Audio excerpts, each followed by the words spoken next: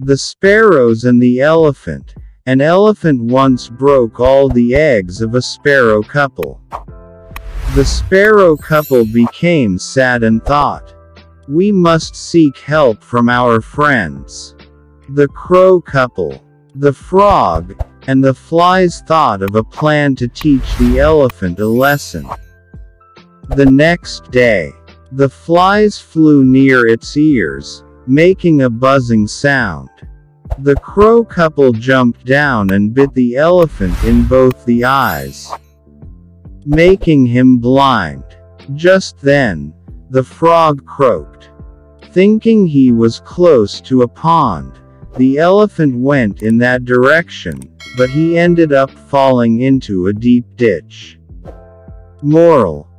Always be careful about what you are doing.